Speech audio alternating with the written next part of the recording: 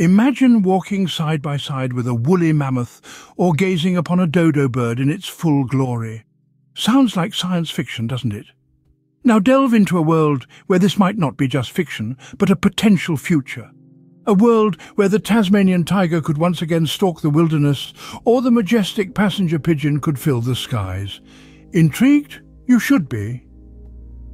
But what if I told you this could become a reality? Welcome to the fascinating world of cloning extinct animals. Before we dive into the depths of cloning extinct species, let's unpack the science of cloning itself. Think of cloning as creating a genetic photocopy, a living Xerox, if you will, of an existing organism. The process begins with the extraction of DNA, the blueprint of life, from the organism we want to clone. This DNA contains all the information necessary to create a replica of the original organism. Imagine the DNA as the recipe for a cake, dictating the exact ingredients and steps required to recreate that same delicious treat. Just as you might copy this recipe to bake the same cake again, scientists replicate the DNA to create a new organism with the same genetic makeup. Once the DNA is replicated, it's time for the next step, implantation. This is where our surrogate mother comes into play. Think of her as a baking oven ready to cook up our copied cake recipe. The replicated DNA is introduced into an egg cell of the surrogate mother, which then grows and develops into a new organism, a clone of the original. While this might sound like a simple cut and paste job, the process is incredibly intricate and requires precise scientific techniques. And remember, the clone is not an exact copy. Just as two cakes baked from the same recipe might still differ slightly, so too might the clone differ from the original due to environmental factors and conditions during development. So that's the basic idea behind cloning, but how does this work when the animal in question is extinct? Cloning extinct animals is a bit more complex than cloning living ones. Why? Because we're dealing with ancient DNA. And ancient DNA, my friends, is a whole different ballgame.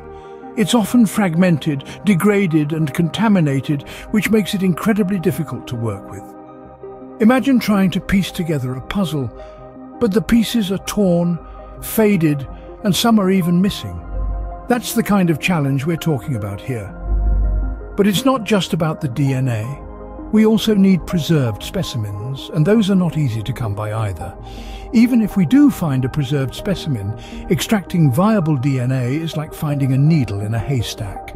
And let's not forget about finding a suitable surrogate mother. This is crucial because the surrogate mother has to be closely related to the extinct species. But here's the thing, despite these complexities, scientists aren't backing down, they're rolling up their sleeves, diving headfirst into the unknown and making some truly remarkable strides. They're developing new techniques, advancing technology and pushing the boundaries of what we thought was possible. So, while the idea of cloning extinct animals may seem like something straight out of a science fiction novel, it's becoming more and more plausible. Despite the challenges, scientists are making incredible strides in this field.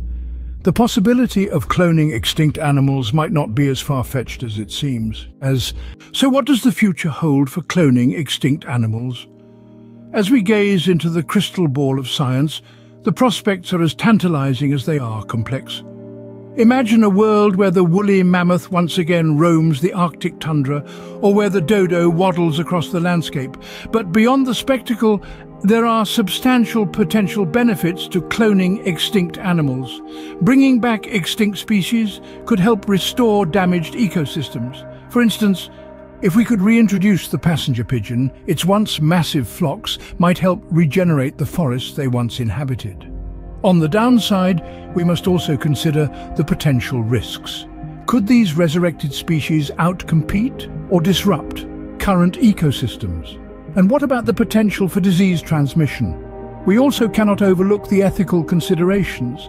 Is it right to bring a creature back into a world that has moved on from its existence?